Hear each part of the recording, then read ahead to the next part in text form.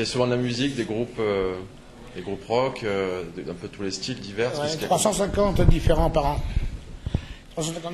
Et ce qui est particulier ici, c'est qu'en fait, les groupes n'ont pas besoin de maquettes ni de démos. Ils s'inscrivent directement sur Internet, ils peuvent jouer sans avoir à montrer ce qu'ils savent faire. On voit sur place. quoi. C'est- C'est plutôt bien généralement. Euh, en scène ouverte, c'est plus délicat à gérer. C'est un peu plus euh, underground.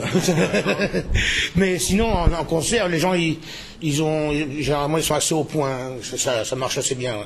Ça veut dire que ce- aller se produire au Dan Racing, une fois qu'on a formé un groupe, c'est peut-être euh, un objectif quelque part. Oui, bien sûr, bah, c'est la première marche dans le milieu de la musique. hein, c'est la- Avec euh, une vraie scène, avec des vrais retours, euh, tout est sur place. Les gens, ils ils viennent avec leur, leur guitare s'ils veulent, sinon je leur prête des guitares. Non, mais on peut pas s'imaginer le nombre de groupes qui existent, quoi. C'est incroyable. C'est, c'est, c'est, c'est en métal, en toutes sortes de musique. Il y a vraiment énormément de, de musiciens. Qu'est-ce qu'il faudrait faire selon toi pour développer justement le, le côté musique à Marseille, ce côté, tu vas faire des, il faudrait faire des concerts en plus, il faudrait faire des festivals. Non, pas, spécial- pas spécialement, mais c'est simplement que laisser les petites salles vivre, quoi, déjà. Parce que moi, déjà, je suis, je suis embêté constamment euh, pour le bruit et tout. Pourtant, j'ai acheté l'immeuble, hein, donc euh, normalement, il n'y a, y a- y a personne qui habite au-dessus. hein.